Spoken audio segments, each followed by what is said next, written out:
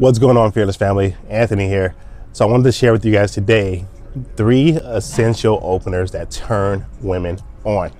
Let's jump into it. Now, I know if you guys have been watching our channel long enough, you've heard Brian say that it's not what you say, but who you're being when you're saying it. And that couldn't be more true. Now, I want to talk about that a little bit. The lines that I give you guys here are very simple lines, and some of you guys are going to be like, that's it? And yes, that's it. Because again, it's not about the line you say, it's not about how outrageous the line is, it's not about how silly the line is that affects the girl. Again, it always comes back to your energy. Who are you being in that moment?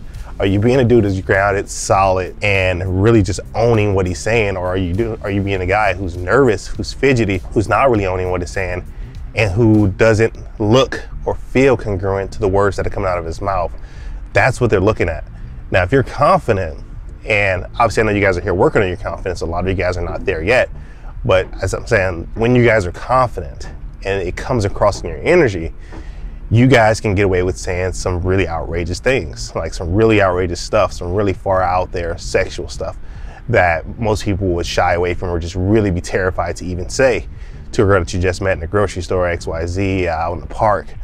Uh, again, because it comes down to how solid are you when you say it. Because when you're solid, it transmits in their body as not a threat.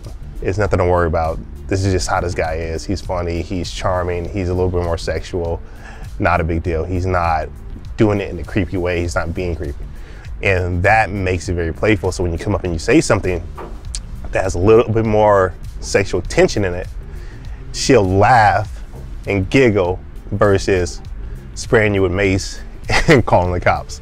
Okay, so anyways, let's go ahead and jump into these liners so you guys can get out there and actually start using them. My favorite open liner and something that comes very natural to me because over time I use it out of practice at first and it started to just become second nature. The reason that it works for me is that it feels really true when I say it because it is really true when I say it. I don't like to use lines that don't that are not congruent with what I'm feeling in the moment. So my favorite open liner is always hey, hi, I'm sorry, I came over to meet you. I thought you were beautiful. Or something like, uh, hey, I saw you from over there. I had to come meet you. I thought you were beautiful. It only works because I truly believe it in my body. If I didn't believe it in my body, it would come across as if it was just a line versus me actually being turned on by what I'm saying or turned on by the girl. Because again, we always talk about this, right? comes back to the energy, comes back to what energy are you transmitting as you're saying. And when you're coming from a place like your head, it's not going to feel the same as it does when it comes from, let's say you got your heart open. You're feeling your, your turn on in your body for this girl because you're like, oh my God, this girl actually is really beautiful, Jesus Christ. And you gotta get over there and meet her. That stuff hits like a train, right? And so when it hits like a train, she knows you're not lying. She knows you're not bullshitting or BSing her. She's like, okay, this guy is, this guy is sincere and then that's what makes her laugh and giggle or even get more curious about you to where she wants to slow down and then drop in and have a conversation with you. So go out there and try this one, but only try it if it's congruent with what you're feeling. Now, you could always find ways to modify it to fit what you're feeling.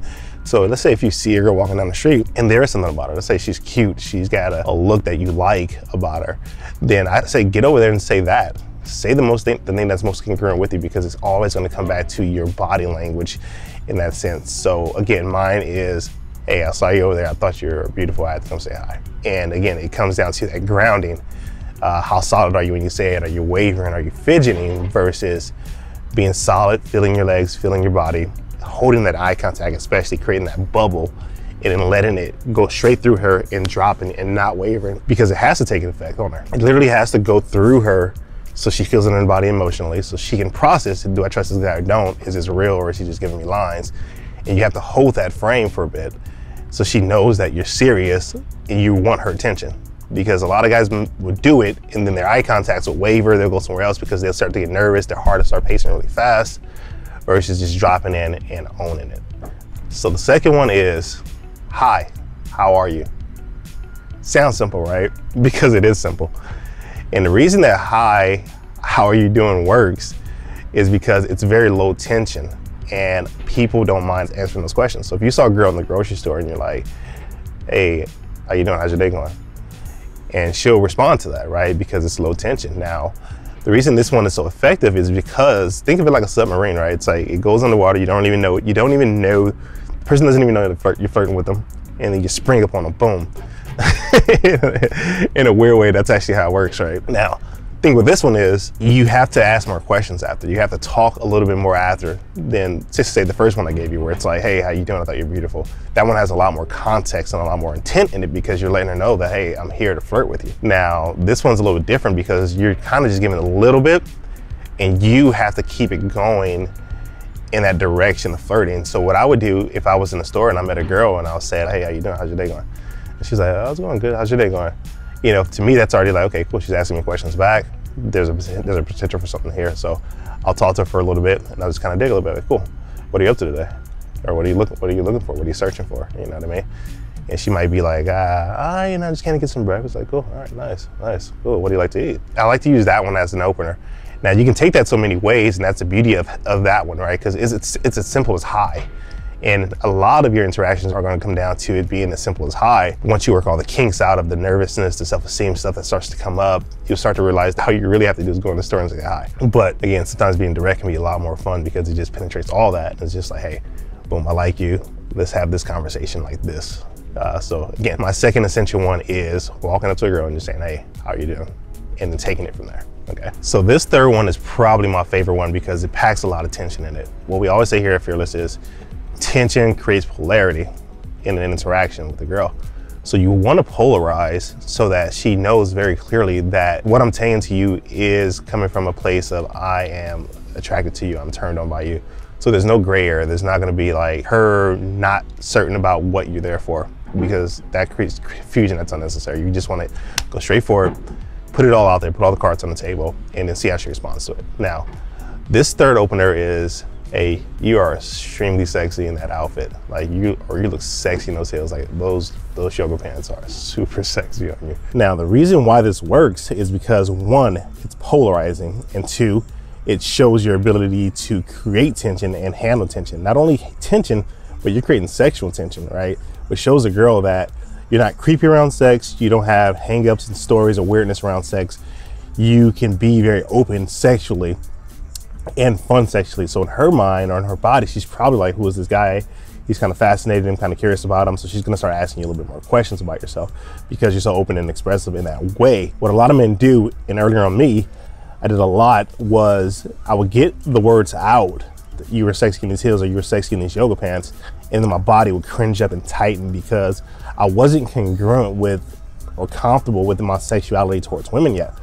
And so it came across in what I was saying and how I was saying it. So I had to say it. So if you find yourself wavering or cringing up after you say something like this, that's going to be the reason that you don't get the number that you don't get the date. So you got to get a little bit more secure in your sexuality, a little more secure in the fact that you like women, you like sexy women. We're on earth, we're here to procreate. Sex is such a huge part of our society and our, and our infrastructure. So get used to being a little bit more sexual, a little bit more open and straightforward and honest because when you start to do that, when you start to say these openers, they come off quite differently than you do when you're nervous, right? They'll hit a lot differently. You'll come off as confident. And then she wants to get to know you, wants to get your number, wants to go out to lunch with you, wants to take you to the bedroom versus being standoffish and kind of creepy about the situation. Okay. So, anyways, guys, that's the third one. I hope these uh, openers help you. I want you guys to go out and I want you guys to practice them. I don't want you to turn them into a technique. I don't want you to take my lines and then make them your lines. I want you to take my lines and modify them in a way that is actually congruent with what you're feeling about this girl that you see. Because if you're out there just using my lines emotionally, you're not going to be congruent with it anyway, and it's not going to reach. Because again, if you're not feeling it, you're probably just saying it from your head as a line. And if you're feeling it in your body and this girl's actually turning you on, the words are gonna come out a lot different. Words are gonna come out in a way that they affect her so much that she knows that you're not lying, you're not bullshitting, that you actually are interested and invested in her. So go out, find what really turns you on about a woman and then go over there and share that, okay? Anyways, guys, Anthony here with Fearless. Remember, hit the like and subscribe button. If you have more questions about this stuff, put them in the comments, okay, guys? We wanna help you guys as much as we can. And also, remember, only the confident really live.